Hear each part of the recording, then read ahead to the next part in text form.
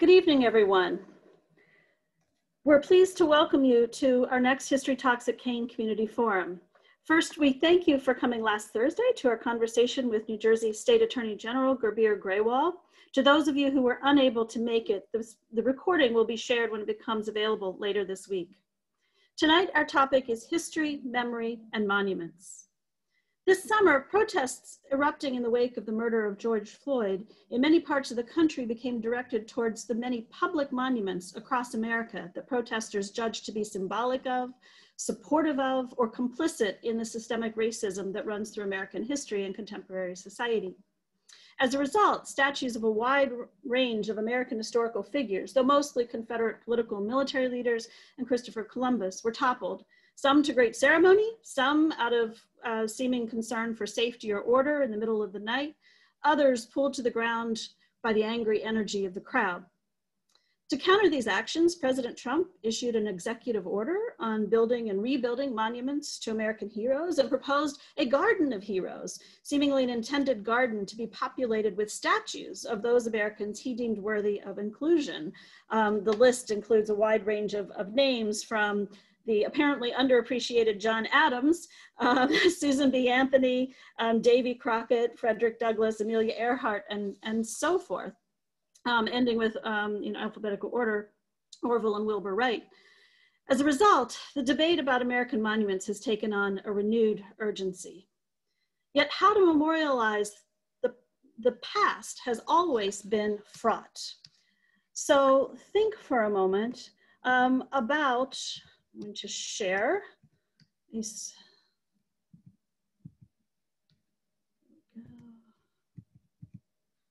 Think for a moment about the Emancipation Memorial that currently stands in Lincoln Park in Washington, D.C. While the monument was actually funded by the formerly enslaved, when it, when it was unveiled in 1876, Frederick Douglass, who spoke at the unveiling ceremony, used the occasion to illuminate Abraham Lincoln's all too slow move towards emancipation and problematic views towards African Americans that contrasted directly with the benevolent depiction of Lincoln freeing a grateful enslaved man still wearing the shackles of enslavement. If problematic in 1876, the statue is even more so now. At an AHA webinar dedicated to this very topic earlier this summer, Eminent historians Annette Gordon Reed from the Harvard Law School and David Blight, Frederick Douglass biographer and historian at Yale University, could not agree on what to do with this statue now. Does keeping it celebrate Lincoln's issuance of the Emancipation Proclamation? Does keeping it perpetuate a vision of white salvation of African slaves and eliminate agency of the enslaved? Does removing it sanitize the past by removing the cruel historical reality represented by the shackles? Figuring out what to do then necessarily involves doing a lot of history. For monuments themselves, as we just saw, have a history. Whose past is being memorialized? From whose perspective? How? In what form? In what context? And with what objective? To educate? To commemorate? And then a monument's reception must be considered. What has it meant since its erection and to whom? And what is the nature and meaning of its setting? Does the monument have artistic value? And who gets to decide?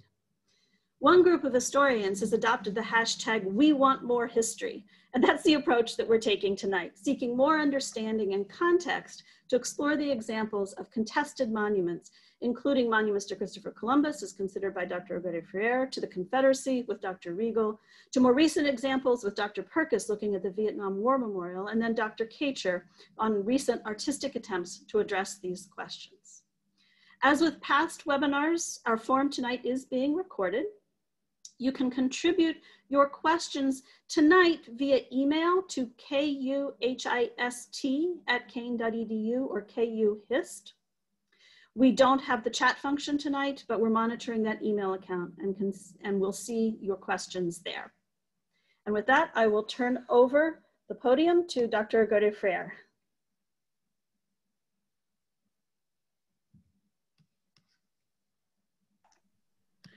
So good evening, everyone. Thank you, Dr. Hyde, for the introduction. So for me, today is Indigenous Peoples Day. No Columbus Day for me, thank you. Christopher Columbus is not someone that we should be honoring with a holiday. Even a cursory review of the documents produced by his voyages and eyewitness accounts make it clear that he imprisoned and enslaved the Tainos across the Caribbean. His brutality greatly contributed to their destruction as a people. This, despite the fact that most of the Tainos greeted him and his fellow seamen with gifts and kindness. So I really applaud the recent actions of Newark Mayor uh, Ras Baraka in removing the statue of Columbus from Washington Park. The mayor and city officials plan to replace it with a statue of abolitionist Harriet Tubman. Over the years, I've had many spirited debates about Columbus's legacy. Uh, recently, someone argued passionately that it was too soon and a knee jerk reaction to eliminate Columbus from our national pantheon of heroes. And sadly, it's hard for some people to surrender their heroes. Um, so I responded as diplomatically as I could muster that we have known about Columbus's debaucheries since he first sailed the ocean blue in 1492. Historians of a prior era chose to ignore his treatment of the Tainos because they did not view them as significant. They were not people that counted. In his day, Columbus was not only criticized for his treatment of the indigenous, but for his cruel punishment of fellow Spaniards in the Caribbean, and not to mention his incompetent handling of the colonies. So, for historians of a bygone era, like Samuel Eliot Morison, and that's uh, who I'm displaying here, his famous book uh, on uh, Christopher Columbus called Admiral of the Ocean Sea. It was the civilizing and Christianizing that mattered. And so he's really uh, one of the best example of a historian that praises the conquerors and ignores the conquered. So here's a brief excerpt from the very book here in front of you in the slide, summarizing Columbus's accomplishments. I quote, the whole history of the Americas stems from the four voyages of Columbus. And as the Greek city states look back to the deathless gods as their founders, so today a score of independent nations and dominions unite in homage to Christopher, the stout hearted son of Genoa, who carried Christian civilization across the ocean sea. So, for Morison, the history prior to Columbus is irrelevant. The religious faiths held by early communities, earlier communities, are irrelevant. So this painting here is at the admissions office at Notre Dame University in Indiana. Uh, we visited there some years ago with my son on a Midwest college tour. And so you can see this traditional uh, imagery about Columbus, the Morison interpretation depicted in this painting. Columbus is standing adjacent to a cross with some uh, indigenous folks presumably Tainos kneeling before it. He merely had to show them the cross, and they immediately found their true Savior and abandoned their other uh, religious faiths. Here is how Bartolomeo de las Casas depicted the conversion process in his 1552 book, Destruction of the Indies. So in this uh, image, that is the Taino chief Hatuey, prior to being burned at the stake. He politely declined to become a Christian. I think you can see from this slide where my family sympathies lie when they dressed me up for this photo. Still, as a boy, I was fed the Morison version of history. And that made me angry when I unplugged from the matrix in graduate school and started to understand his legacy. So this is more modern me. This is me on that same college visit expressing my feelings for Columbus after years of studying the historical accounts. Now, in the outrage over the George Floyd murder this summer, people started to express their anger, as Dr. Hyde noted earlier, by rejecting, rejecting the sanitized historical narrative of the past.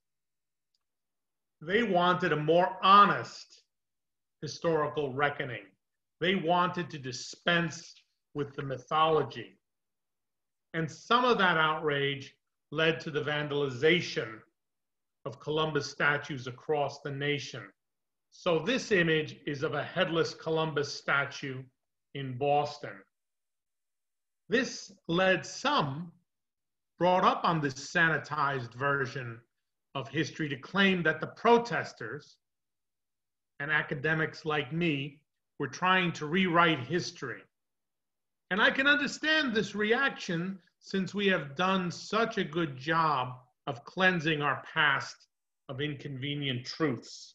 So, uh, speaking of that, I just wanted to read you a short excerpt from Donald Trump's uh, message uh, on Columbus Day today. He released it in a press statement. And he chastises folks like me. So I'll just read you a brief excerpt. Sadly, says President Trump, in recent years, radical activists have sought to undermine Christopher Columbus's legacy. These extremists seek to replace discussions of, this va- of his vast contributions with talks of failings, his discoveries with atrocities, and his achievements with transgressions. Rather than learn from our history, this radical ideology and its adherents seek to revise it, deprive it of any splendor, and mark it as inherently sinister. They seek to squash any dissent from their orthodoxy. So I thought it'd be important so we not squelch dissent that I read to you President Trump's excerpt, or at least an excerpt of his statement. So um, bringing the, the topic of Columbus statuary closer to home, this is a bloodied Columbus statue from Garfield, New Jersey. Uh, this summer, someone poured paint, red paint on it to uh, symbolize his blood-stained legacy. So let me be clear here. I do not endorse the vandalism. Uh, for the record, I have no objection if some communities want to keep their Columbus statues. But at the very least, there should be a statue of a Taino alongside it to engage the conversation over his legacy. If we want to look at his legacy, then let's really open the door to a discussion and a debate. So I feel that that might be the best way. I, I remember when there was a debate about the Columbus statue in New York City at Columbus Circle. I thought rather than taking it down, what a wonderful opportunity to encircle it with some statues of the Tainos, Hatuey, uh, Enriquillo, and a few others. Again, to open up the discussion about his legacy. Yes, he's an important historical figure. There's no denying that. But, um, you know, I think it's important to get that other side. Just a, a quick point, because folks always raise this issue of he's a, an icon to Italian Americans. In doing further research, I realized and Morison states this very clearly, that he didn't consider himself Italian. He was a son of Genoa, the city state of Genoa and Genoese. And there was no United Italy at the time. And he didn't speak Italian. He spoke Ligurian, which was a, a, a version of um, Etruscan uh, that predated the, the Roman Empire. So anyway, I just thought it was it be good to give you that. So anyway, I, I believe that putting the Taino statuary adjacent to Columbus, that that would be appropriate historical statuary and would open people's minds to the discussion of legacies. So thank you. With that, I uh, thank everybody for listening.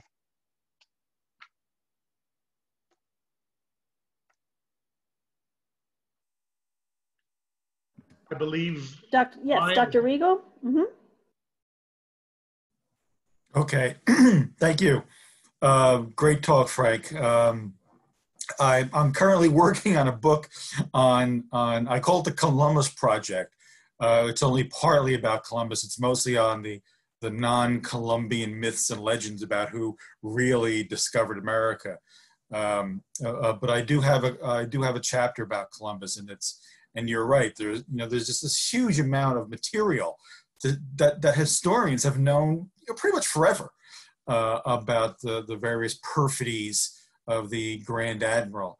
Uh, I wrote a um, an op-ed about Columbus Day like three, four years ago, where I said a lot of the things that we're saying tonight, and I got a lot of angry hate mail over it, including from one guy from a local uh, New Jersey Italian American Association who was really upset. Sent me like a three-page, single-space type letter uh, in which he uh, finished up by saying that uh, I was just one of these liberal academics and I clearly hated Italians. That's why I did this. And I, I said to him, "How can I hate Italians? I, I, I love I love pasta. You know, I, I love eating Italian food. So how can I hate Italians?" Um, but I uh, I would like to talk uh, for a few minutes about the Confederate statues. Uh, the um, one of the you know we've had a rash of Confederate statue vandalizations and removals in the past few years, which is nothing particularly new. We sort of go through phases uh, where it, it, sort of calms down and then it gets riled up again. Uh, and I think the, as Dr. Argote pointed out, that the, the recent killings of African Americans by the police uh, have you know, sort of churned this back up again. Uh, and one of the great, or one of the big complaints about uh, this the, the, the, tearing down of statues and the vandalization of statues is that well oh you're trying to erase history. Uh, no that's that's not it at all because statues are not history. Statues are mythology. Uh, mythology is what we use to sort of tell stories uh, in, in a way that makes us happy. Uh, and so statues of all kinds not just of confederates or not just of columbus uh, but of all statues in a way are a kind of mythological propaganda to make whoever the the subject of the statue is look good. Uh, we usually don't don't put up statues to people we hate. We usually put them up to statues we love, uh, people we like or admire. Uh, you know, I'm sitting in my home office here right now, and right you can't see it, uh, but right across from me, I have a bust of Ben Franklin, uh, and that's a mythology. Uh, it's not history. Uh, and so you can you can tear every statue in the world down. We'd still have history. Uh, so that's really not uh, not an issue. But uh, with a little history of Confederate statuary, most Confederate statues that are up now did not go up immediately after the war. they didn't go up for, in some cases, decades.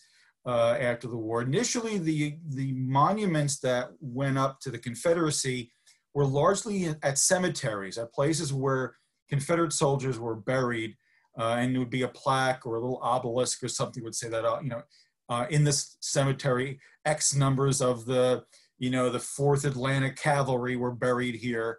Uh, and we don't really start getting that kind of figurative statuary that we sort of associate now uh, until much later. And it, it was, it starts off being like Robert E. Lee and Jefferson Davis and Nathan Bedford Forrest, you know, the biggies, uh, when sort of figurative statues, realistic statues start appearing, it's usually those guys.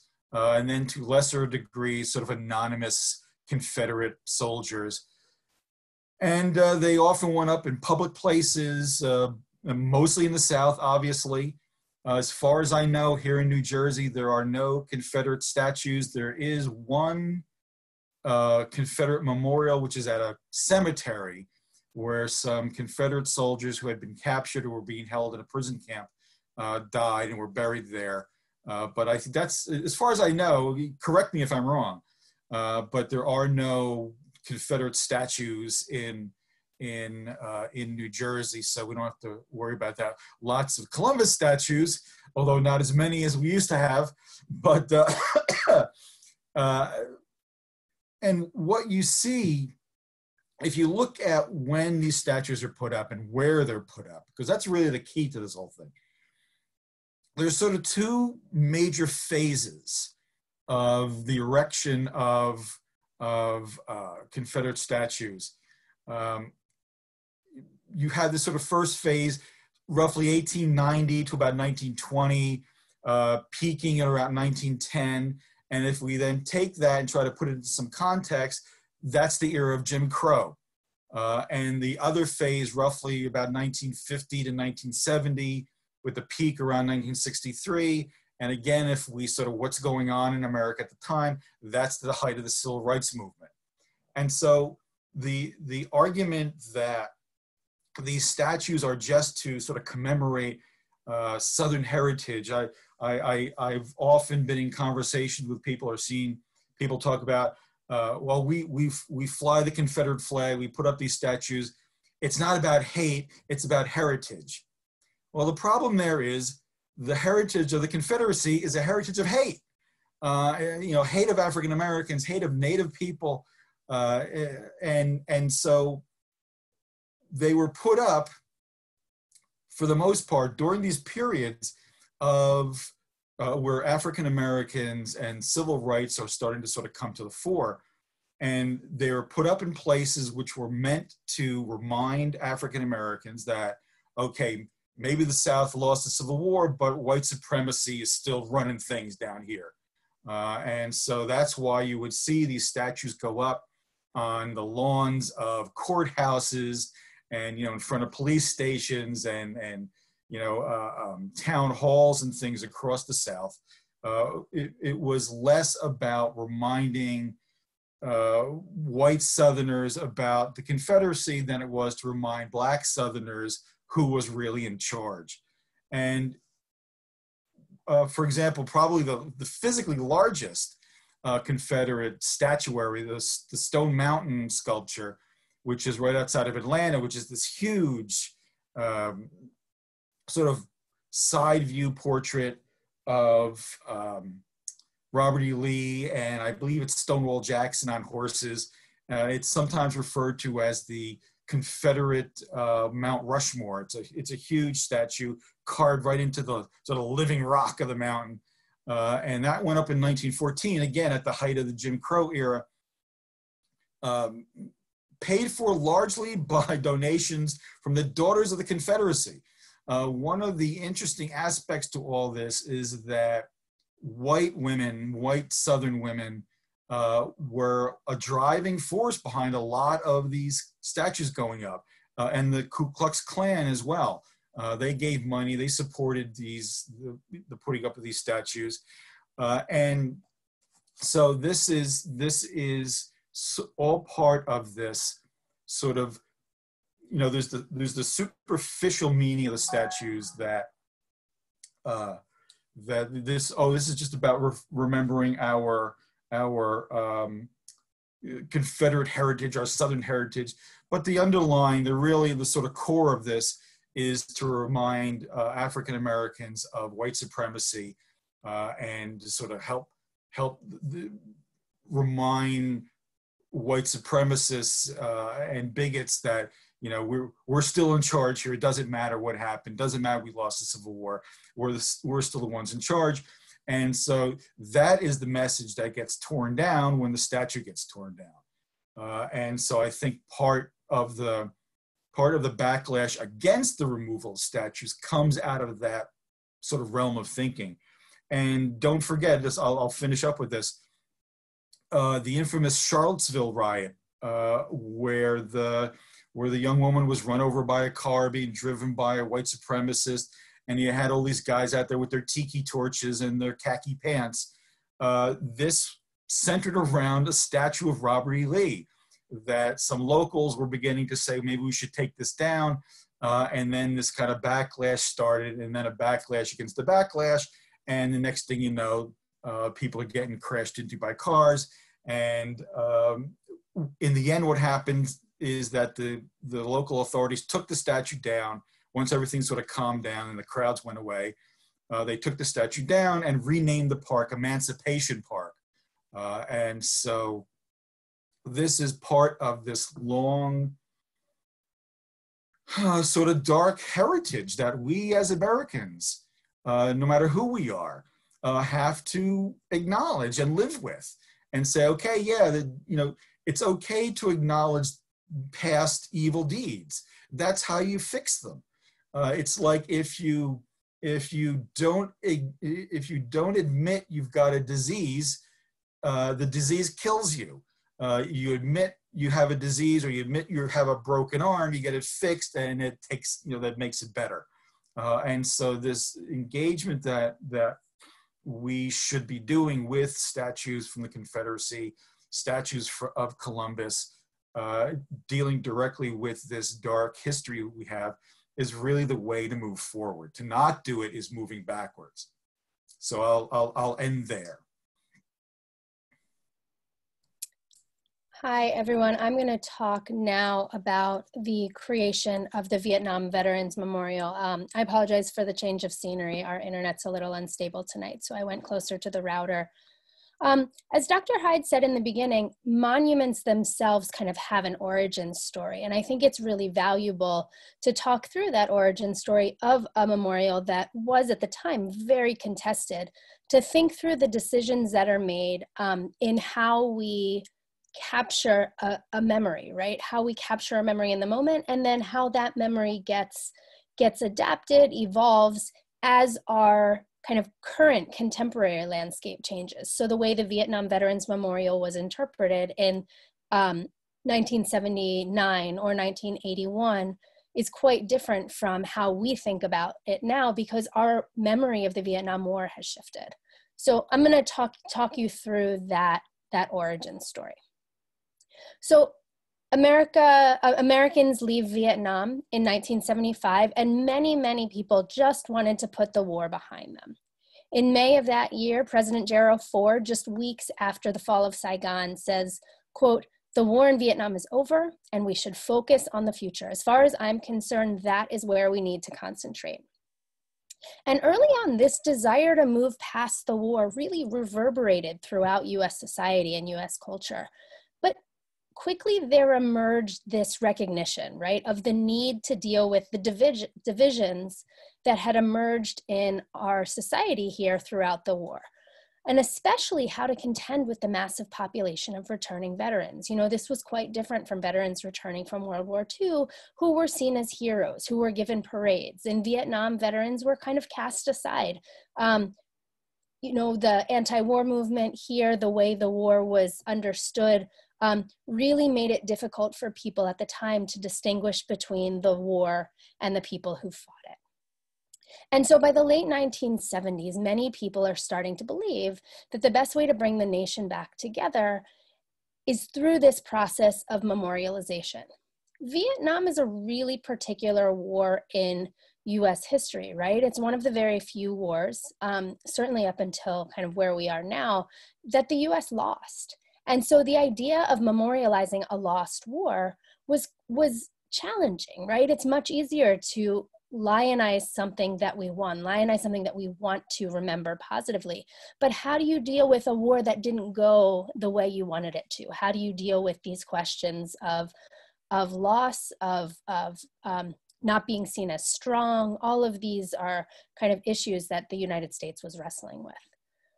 So, in April of 1979, a veteran named Jan Scruggs leads the charge to establish, establish the Vietnam Veterans Memorial Fund, which is a nonprofit organization charged with spearheading the campaign for a National Veterans Memorial in DC.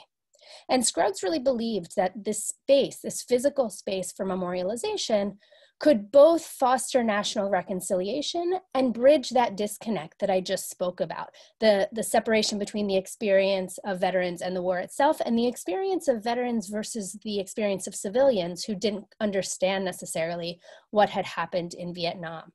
What he wanted to do was create a memorial to recognize the service of military personnel without honoring the war itself, which remained so contested. So Scruggs, uh, Scruggs gets the support of a number of members of Congress who introduce a bill to pass federal legislation to authorize the construction of the monument and to put it in the Constitutional Garden on the Washington um, Mall, which you know, starting in the early 1900s becomes kind of talked about as this site for memorialization and national celebration. It's really significant that the Vietnam Monument, Veterans Monument Memorial becomes put on the mall. It's kind of hallowed ground. And the senators that um, are seeing the war as, uh, uh, seeing the monument as ne necessary to our national memory are looking at this as a way to curate that memory in, on this hallowed ground in this space where we remember you know lincoln and jefferson and we have our civil war monument and it's really this space for reconciliation so on the fifth anniversary of the fall of saigon on april 30th 1980 the senate passes this bill authorizing construction for the memorial. The government will provide no financial support. That will all have to be raised privately. And the design will require the approval of the Commission of Fine Arts and the National um, Capital Planning Commission, as well as the Secretary of Interior. So it's kind of this public-private partnership with which President Carter quite um, supportively signs into law on, in July of 1980. That October, the Veterans Memorial Fund Committee holds a national competition for designs. The memorial, they said, they want to, quote, promote the healing and reconciliation of the country after the divisions caused by the war. So that's the call they put out to artists whose uh, designs they're seeking. And initially, this proposal receives broad support, but it really becomes clear that as contested as Vietnam remains in uh, American society, so too does how people want to memorialize the war. And that kind of weighs down this process from the very beginning. Also weighing down the process is the, the landscape of the commission itself. So we get eight white men on the committee. It includes architects, sculptors, and landscapers, and not a single veteran. These are the people that are going to make the decision for the design. And they wanted, they, they were charged with finding a proposal that was both reflective and con contemplative that would harmonize with its surroundings, that would contain, contain the names of the dead and missing, which is significant, right? And it would make no political statement about the war. So, a pretty lofty charge in a moment where the memory of the war is still so politicized. The, the, the nation responds, right? And they get a hundred, the committee gets a hundred, 1,421 entries, the most of any design competition in the United States or Europe to that point. And the winner, and this was anonymous, all of the entries were anonymous, um, which is significant because the winner ultimately states that she doesn't believe she would have been chosen if her identity was shown. Um, the winner is 21 year, a 21 year old Yale undergrad named Maya Lin. And I would like to show you a quick picture of Lin, not necessarily the image of kind of an acclaimed um, oh, what was working before I moved my computer is no longer working. So I will not show you the picture of Lin today, but she's a young 21 year old Asian American woman. Um, and her design was a series of black granite walls on which would be inscribed the names of the 58,000 men and women who gave their lives or remained missing in the war. If anybody who um, any of the other speakers tonight are able to share their screen and pull up a quick image of the memorial, um, I would appreciate it. Any image will do. So her design is meant to be apolitical, but the politics of the war just pervade this discussion. Her, her design gets um, condemned for its lack of patriotic symbolism because that had been so characteristic of war memorials to this point. Ross Perot, thank you. So that's actually the picture of Lin that I was gonna show. Um, again, this is the designer. And then if you pull up one of the images of the memorial, you can see the black granite that Lin designed. So no patriotic symbolism, right? Ross Perot, pledge, who had pledged $160,000 to support the project, he calls the memorial a trench and he withdraws his support. Veteran Tom Carhart, Carhart says that the black coloring is the uni universal color of shame and sorrow and degradation. This, this dark color, this kind of black gash that people talk about wasn't accidental. Lin later said of the design, quote, I imagine taking a knife and cutting into the earth, opening it up, and an initial violence and pain that in time would heal. So ultimately, her design is built as, as designed um, with additions and modifications to ameliorate some of these concerns of her more powerful critics. And then later in 1993, actually, there is added next to it a, a monument for the women who fought in the war as well. Despite all the controversy that surrounded it initially, the site really quickly became a sort of pilgrimage for those who had served in the war and for those who had lost loved ones in the war. And less than three years after it opened, the New York Times noted, quote, it's something of a surprise how quickly America has overcome the divisions caused by the Vietnam War. Lin's memorial, in fact, helped to heal that divide. It became a sacred place of healing and reverence, exactly as she intended for it. And by, you know, 10 years later, nobody thought of it as a controversial monument. Nobody questioned the design um, kind of in national lore. I'm sure there were individuals who did, but as a, as a, as a culture, the United States really embraced it. This is a significant story because it tells us that the or you know the origins of a memorial are are created out of the world in which they're cast in that moment, right?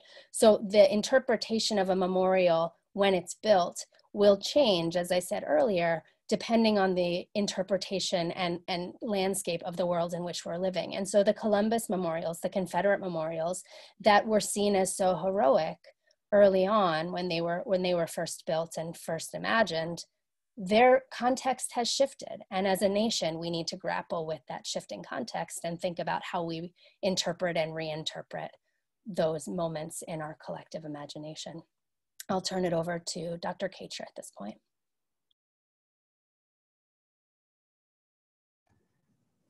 Thank you, colleagues, and thank you to the History Department for this uh, forum and these interesting presentations.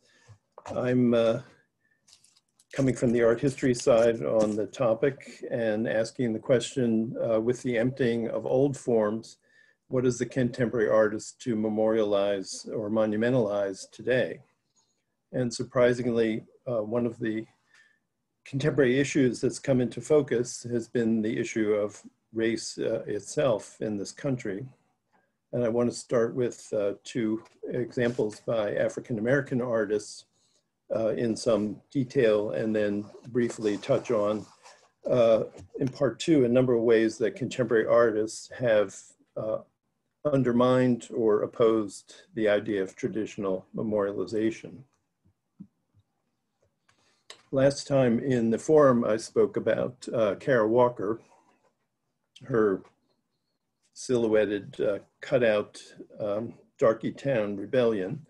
So I thought it made sense to continue uh, on that thread with her very recent commission for London and the uh, Tate Gallery, part of their ongoing series in the vast uh, Turbine Hall, um,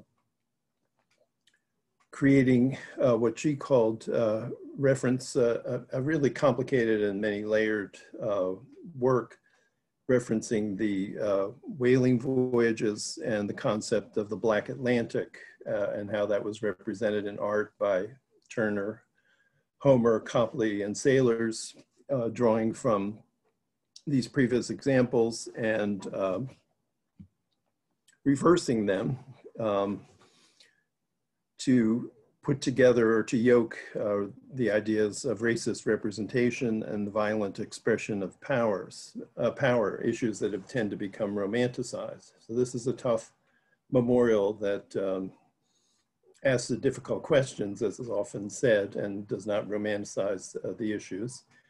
Uh, it's also very complicated and multi-layered. So on one, uh, she said other things about it, and there's been quite a bit of uh, words uh, from Kara Walker and in the catalog to the uh, exhibition of the fountain.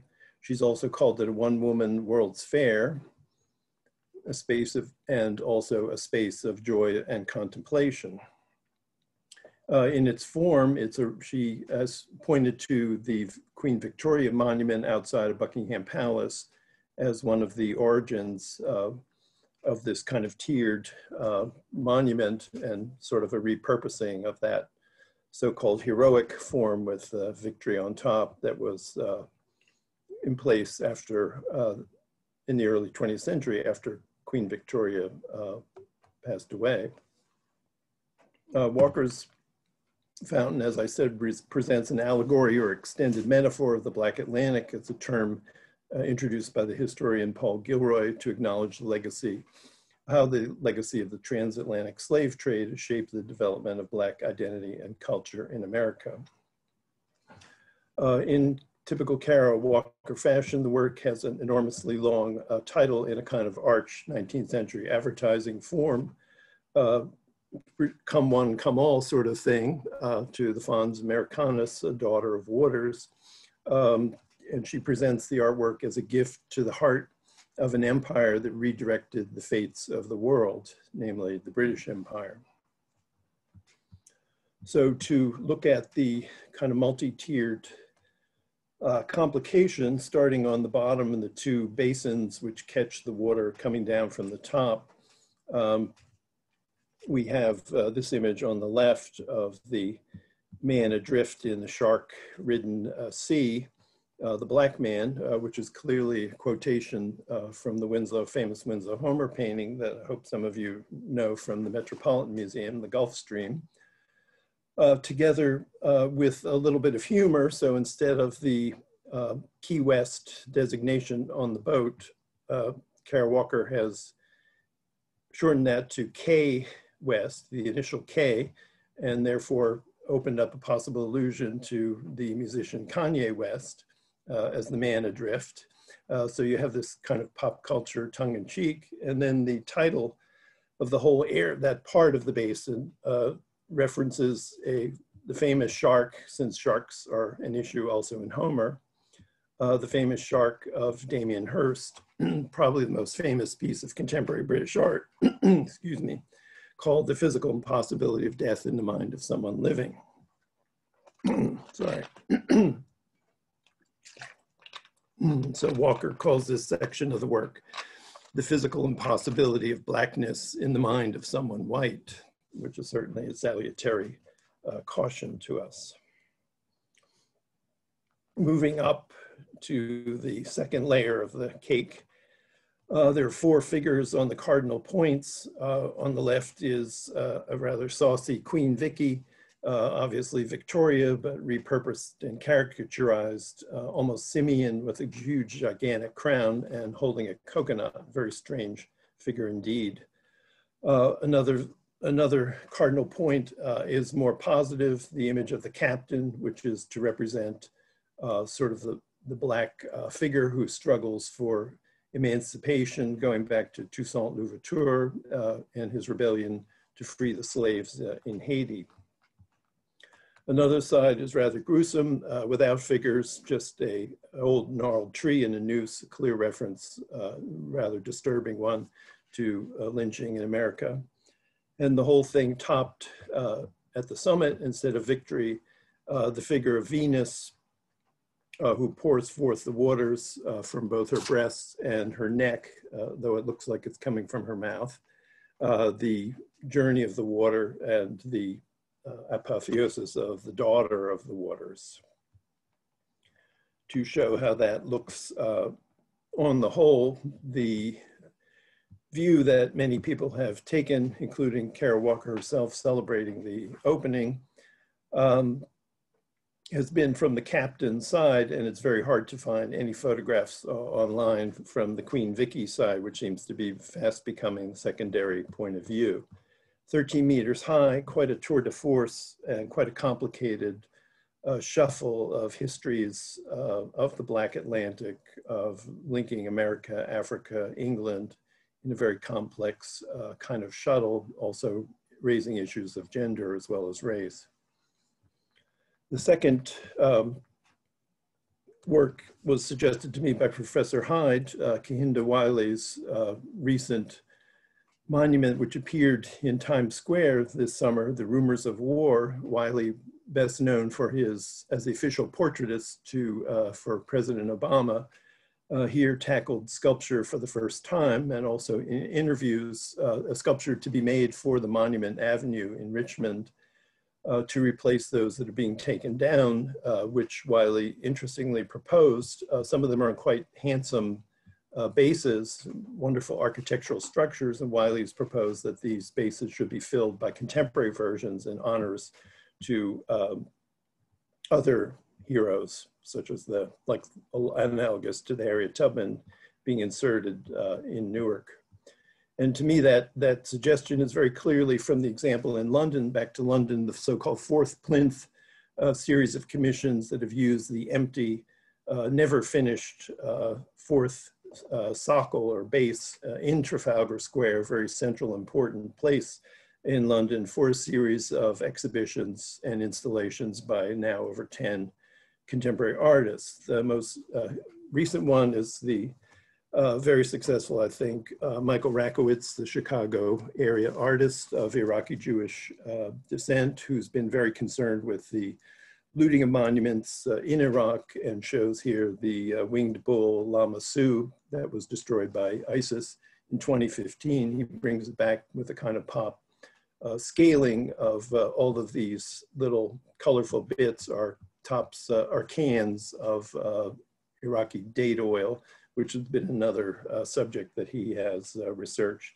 I think it looks great as a kind of gateway portal type sculpture in the first place. Uh, rhyme in position with the columns of the classical architecture around and with these processional uh, rising stairways it fits in and also fits in. Uh, Rakowitz has said uh, faces, the sculpture faces Mecca and turns its back in its uh, hindquarters on the British Museum. So a nice little in-joke to him, I guess. It's back to Wiley. Um, I do think that uh, his equestrian is very close, uh, really seems to almost mimic uh, or appropriate the uh, Jeb Stuart monument in Richmond, which has meanwhile gone down. Uh, there's of course one intensive layer of uh, response to the monument with all the graffiti underneath.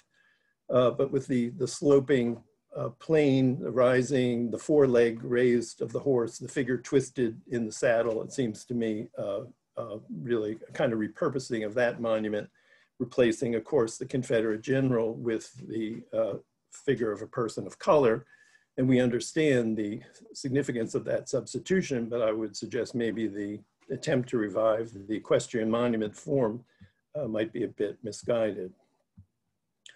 So as I said, for my second part, I want to uh, overview a few strategies to demonumentalize or ways in which uh, contemporary artists have helped reverse or undermine that mythology of the statue that was spoken of, uh, short of lopping off uh, their heads or destroying them as we've all already seen. So one of them is uh, by the late great uh, Christo, uh, known for wrapping buildings and bridges, but in fact, uh, early in his career, wrapped a number of statues, thus muffling or concealing their identity or historical statement and making them into Christos. Um, similarly, just written up in the paper was rather this rather eccentric um, performative um, intervention by the great uh, David Hammons uh, with the, the uh, Beecher Monument uh, in uh, Brooklyn, in which he's gone out uh, for several winters in the snowstorm and clothed the African American figure woman who lays palm fronds at Beecher's feet. Kind of coloristically astonishing note and, and a sort of decentering, of course, of the, of the heroism of, of of uh, Beecher instead to focus uh, on the presence of the African American supposedly ancillary or secondary figure. Uh, and similarly, uh, the idea of screening or covering uh, at, a, at uh, something of a distance, like this Paravent by Kenseth Armstead in Union Square a couple summers ago, was an interesting overlay, a partial overlay of designs from uh, frescoes from Burkina Faso in this wonderful colored design, which kind of completely destabilizes the heroic, weighty bronze of uh, Washington.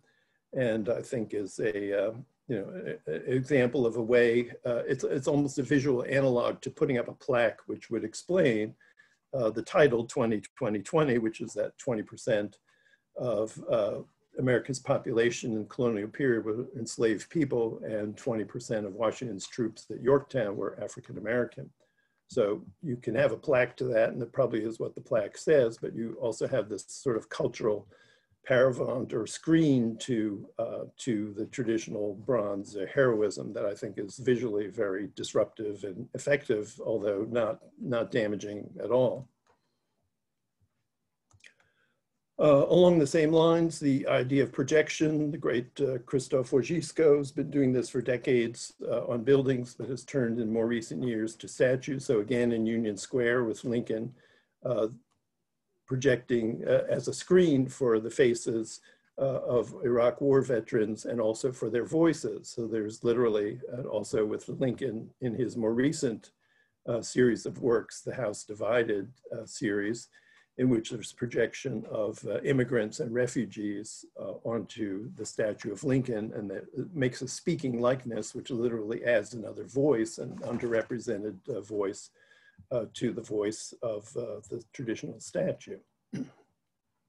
so I have a feeling that the idea of projection that Wodiczko used has somehow uh, filtered to Dustin Klein, who's created this ongoing series of projections on the Lee uh, memorial in Richmond, uh, kind of branding uh, Lee and his horse with the initials of the Black Lives Matter movement, which is a great gesture, and then using the base uh, as a screen essentially for changing casts of characters. Here, the glowing uh, face of Breonna Taylor.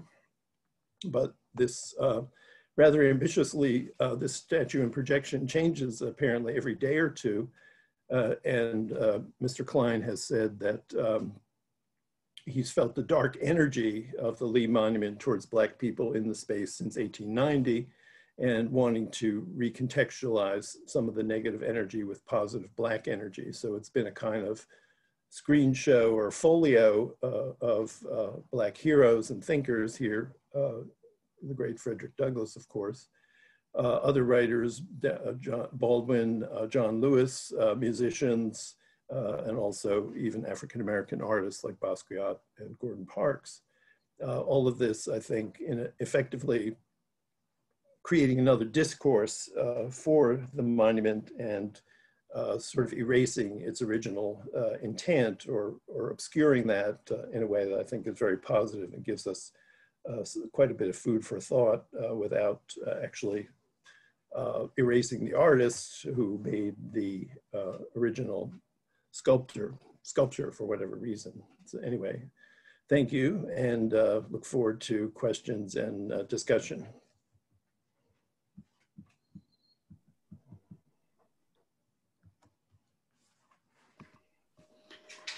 So thank you everyone for, for these really provocative presentations. I think that we have um, a lot to talk about here. First, I would remind everyone that while we don't have our chat feature enabled, you can email us at kuhist at kean.edu, kuhist. Um, Dr. Purkis and I are monitoring that, um, that email account so that you can get all of your questions to us there and we'll pass them along to, um, to all of the, the panelists.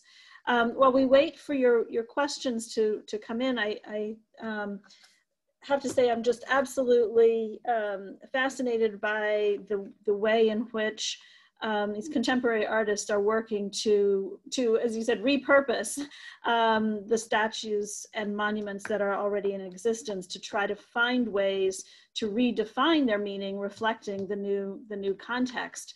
Um, and I look forward to seeing, I guess, how the communities in which these works um, reside when they're in communities that aren't in the middle of a museum at a, um, to see how they're how they're embraced um, or not and to see to what extent um, these revisionings become a more permanent reflection of this shift in, in context. So um, I guess we we all wait to see how that to see how that proceeds. Um, I wanted to, um, again, while we wait uh, on questions coming in and I'll, to allow each of you to address to address each other. So um, Dr. Purkis and then and then Dr. Godefroy. I actually, we, we had a great question come in early on, so I would like to Mhm. pose it. It's mostly for Lewis and Brian, though I suspect anyone should feel free to chime in. Mhm. Um, it's from one of our other art historians, Dr. Mayhall, and she asks for a little bit of more context and nuanced discussion of statues versus versus monuments, because in the context of this conversation, right, a statue is also art, or at least that's how we conceive of it. So how do we kind of reconcile the removal or adaptation of art versus these memorializations and statues? I'll, I'll, I'll take a shot at that. uh, I, I think, um, you know, the, the, the, the detail, how do we, is a, is a statue a monument, is a monument a statue, are, are they the same thing? Um, and how do we justify taking one down but not the other? Um, you- there were calls when this sort of thing reached a peak over the summer. You know, oh, you're tearing down Confederate statues. Why aren't you tearing down statues of Lincoln? Why aren't you tearing down statues of, you know, Franklin Roosevelt? Uh, and I, I think part of the answer to why some statues were targeted and others not is because Lincoln and Roosevelt didn't try to destroy the United States the Confederate leaders who have made have monuments to them tried to destroy the United States. They were a they were a, an enemy nation uh, whose sole purpose, or primary purpose, in their own words, uh, was to create a, a white nationalist homeland where black people could be legally enslaved. Uh, and so I I think that the issue here is that statues that represent uh, you know, support slavery, back up slavery, back up colonialism. Uh, these are statues which people will say, well, it's okay to tear that one down. Um, whereas the the something which is memorializing someone's life, and I think statue is is something which.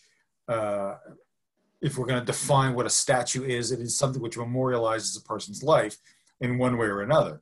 Uh, and so to memorialize the lives of someone who were war criminals and who enslaved people uh, and did terrible things like that, you know, we wouldn't be putting up statues to Goebbels uh, in this country or, or to Hitler or Himmler uh, because they were terrible, horrible, awful people who did terrible, horrible, awful things. We put up statues to those who you know, helped rescue Jewish people.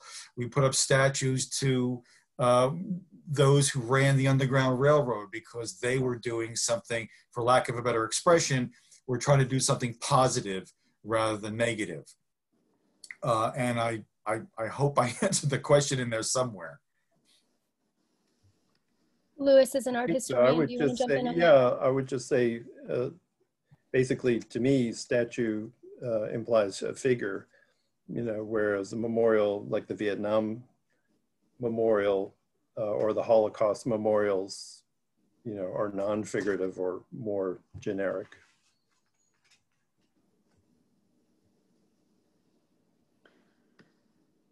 Frank, you had a question, and then we'll take a question for you from, uh, from email. Great. So Louis, I was very intrigued with your uh, uh, display and your presentation on art. And so I was wondering, you mentioned in one point that you thought it was misguided, some of the horse statuary, um, you know, in one of the images, I guess it had to do with the Stonewall Jackson, if I'm not mistaken, uh, statue was taken down and then someone put up another figure, an African-American figure and you thought it was misguided. Could you explain that a little bit? Or did did I understand you correctly? Yeah, um, it's a more of a critical judgment. Um, because as we see, all of you know, all of these artists use appropriation. So you know, Kara Walker appropriating Winslow Homer, but it's for a kind of discourse. Um, with Kehinde Wiley and the rumors of war, I just feel like he's he's appropriating the form, equestrian form of the you know, the man on horseback, be a Confederate or whatever general or hero type. And it just seems to me that's like such a stale, old stereotypical form that uh, I can't quite get uh, enthusiastic about the idea. Well, though I understand and admire the intention of, you know, turning that to an African American subject, I just think the the whole, you know, the whole framework of the equestrian going back, you know, to ancient examples is just a little bit tired. Thank you. Mm -hmm. We have a question um, for um, Dr. Argote-Freyre most, mostly. Um, Dr. Perkis, do you want to read that, that piece?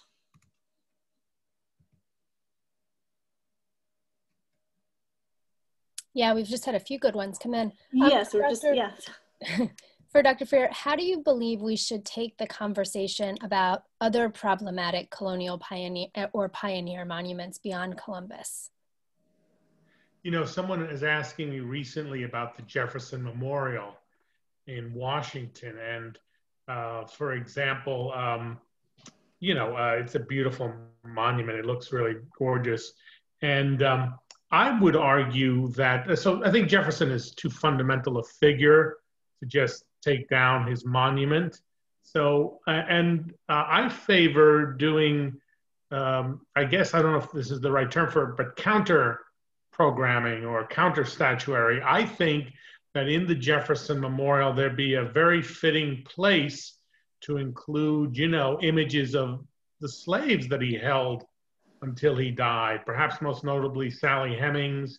I think there's a place for that kind of discussion and statuary in and around the Jefferson Memorial that would put his legacy into clear focus. I mean, obviously, he's a talented, gifted person who contributed a lot to the nation, but there's some other sides to him that are worthy of historical exploration. I, I might add that his treatment, since I was talking about Columbus earlier and uh, the indigenous, the Taínos' his treatment of them, I might add that Jefferson, uh, his actions against the indigenous, even spelled out in the Declaration of Independence, right in his own language there, where he calls them savages. And um, during his presidency, where he uh, unleashed a series of military campaigns which border on the genocidal against some of the indigenous communities. So I, I think that there's a place for that. So that's how I would deal with a, with a with a monument like that of a, such an important figure like Jefferson. Counter programming, counter statuary, to evoke the other aspects of his heritage that are not particularly uh, enlightening. I think that's an important point. I just want to jump in briefly there are many other countries that memorialize hard stuff well. Um, you know, take Germany, for example, they don't shy away from talking about the Holocaust or the history of, of Nazism. And they do so in a way that is, um, that confronts the reality of it, but also in ways that are artistic and meaningful. Um, and open to interpretation. And I think our country could learn a lot from the way other nations memorialize really challenging moments in their history. Um, there seems to be a retreat from nuance often in our statuary, and and uh, I think we need to, so that we're actually giving people a, a clear view of what happened. I think we do need more nuance. Yeah. Dr. Hyde, would you like me to read another one? Um, that's fine. Um, so I would like to end with, with a question that's less about memorials and, and more about history education more broadly. And before we get to that one, um, again, this is a question about kind of art, art and monuments at the same time. Um, should memorials be figurative? Should we have images of people um, in them, perhaps the success of the Vietnam Memorial or the Holocaust Memorial in Berlin is due to that non-figurative nature, is due to the more abstract imagery. Um, I'm gonna, uh, I, Louis, would you mind starting with that one? Yeah, I think the great success of the Vietnam Memorial is that it isn't figurative, but it names names, and also the geographic, you know, what I found visiting there, just the descent, uh, the staging of it, you, you literally are buried by the increasing number of deaths uh, year by year. And uh, I think that's been a tremendous, you know, a rare, tremendous uh, memorial that I think has probably touched off some similar kinds of events, but certainly, you know, open assert other similar uh, sculptures. I'm trying to think of the one, the name of the one in Washington for the uh, victims of lynching, which uses repeated um, rectangles and is sort of along that line of counting the, hmm. you know, just the sheer naming of the number of, of the horror or the number of the deaths. So yeah, I think it's, I mean, I think, and I showed the screen over the Washington. I mean, I think there's, there's a lot of possibilities and, and it looks like commissioning bodies are more open to you know non-figurative memorials. I think that's uh, or monuments, and I think that's an encouraging sign. Plus, we didn't mention the uh, you know the amount of money the Mellon Foundation is now going to throw at this question. Uh, I hope there's a lot of artists have sat up and take notice about that door opening. Um, I'm not an art historian, but I have spent a lot of time studying memorials and monuments, and and I would agree, Louis, that that often you can transcend the political a little bit more if you don't have the actual figure of people, whoever those people are. Um, I personally also find memorials that don't have individual people to require a little bit more pause and reflection and interpretation, which for me makes it a more powerful experience. I'm thinking of the boots lining the riverfront in Hungary, in Budapest, and I don't know the name of the memorial, but it's haunting um, just to see the absence of people, right? The absence of figures. So, um, as a non art historian, but a historian, I find those to be some of the most compelling ways to memorialize the past. And that question of, of reflection um, is, is, is one about education, right? It's about getting people to reflect on the meaning in a way that is, that is intended to, to educate um, um, more, more, more meaningfully. And, and um, that takes us, I think, to, uh, to our, our last question as we think about this issue of commemoration and or education. Um, I think we, want to we, want to we want to get to the and as opposed to to the or. So, Dr. Purkis, you want to raise um, the last question?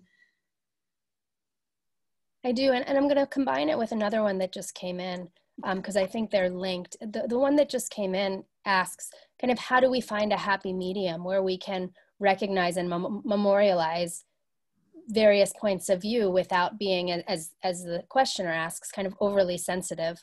Um, and then this question about education, which wraps it all together, is shouldn't we be talking more about how we teach history and what the requirements for students should be who learn history in order to have a substantive healthy movement forward before you know we can move on from where we are now. We have to learn about the past. So where do we go from here? You're, you're preaching to the choir on this panel but uh, it's a good question. Dr Argote-Freyre, would you like to chime in?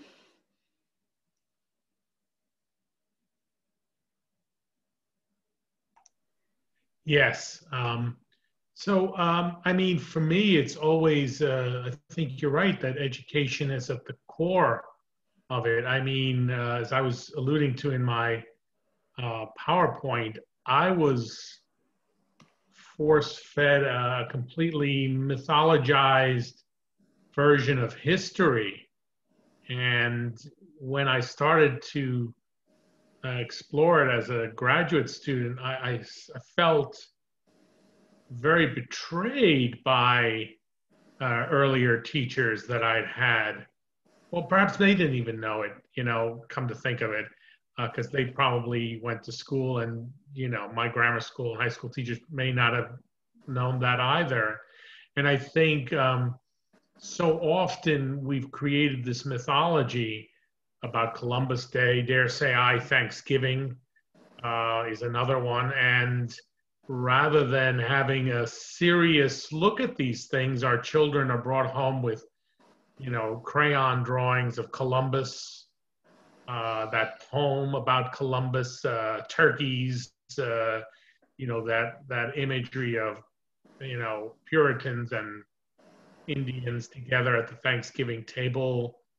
Uh, so there's a, something right from the beginning that creates a mythology that is disturbing for me. I mean, I was always talk to my kids when they would come home with that, but say, you know, by the way, uh, these stories are not quite like that. And I realize some teachers say, oh, you know, we have to tailor these for younger kids. Uh, but I think that we can tell our children uh, closer approximations of the truth than what we've dared to do in our society. And I think the reason for the anger is the mistrust and we've been misled about what our history is. And so when you when someone then tries to tell you, well, no, this is exactly more, this is closer, let me not use the word truth, this is closer to what happened, then people are angry. Why are you taking away my Thomas Jefferson? Why are you taking away my George Washington? Why are you taking that away? You're taking away my history. And it's hard for them to understand that you're actually giving them their history. You're actually uh, bestowing upon them their history, if you will. Uh, but they feel that you're taking it away. So I do think it starts at an early age. And I, and I think panels like this, and I've preached about this issue of Columbus for a long time. And so I'm so happy when I go into my classrooms of my students, you know, who are now teachers and their interpretations are more nuanced. Uh, so it's a slow process. I think that's the way to reach. Uh, it's a long-term process. So that's a term where we're actually reconciling the multiple nuances and interpretations of our history, and, and we can come to peace with it, but only after we've given it careful thought, after we've acknowledged it, then we can come to peaceful terms with it. So I think that's the long uh, way of doing it. Other than that, we're going to continue to squabble about it.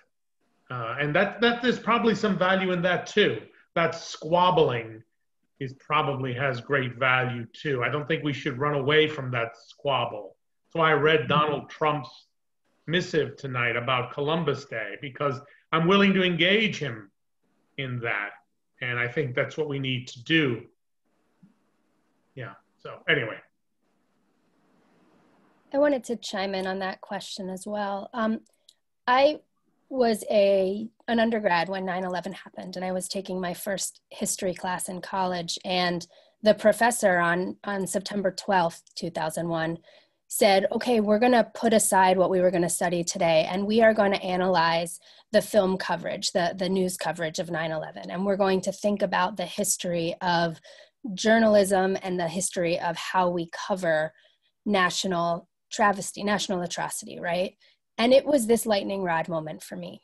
Um, it totally changed my career trajectory.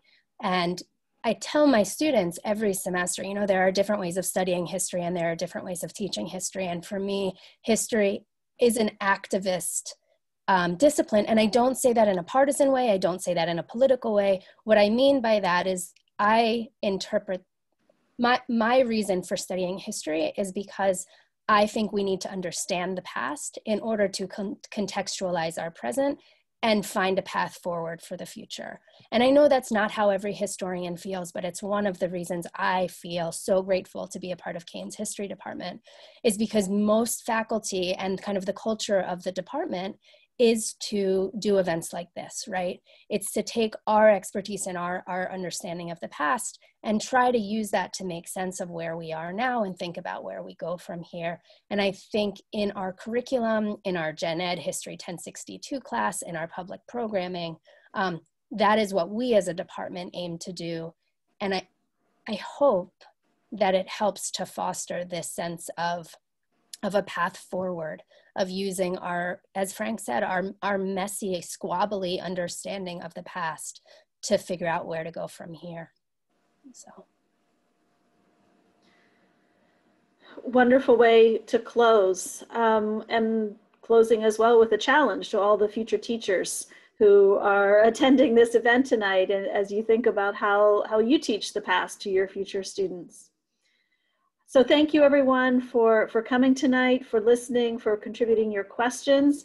Um, we will uh, circulate links to the recordings of this once it, uh, once it becomes available. Um, and watch your inbox for emails announcing the date of our next community forum. Thank you everyone. We appreciate it very much. Good night.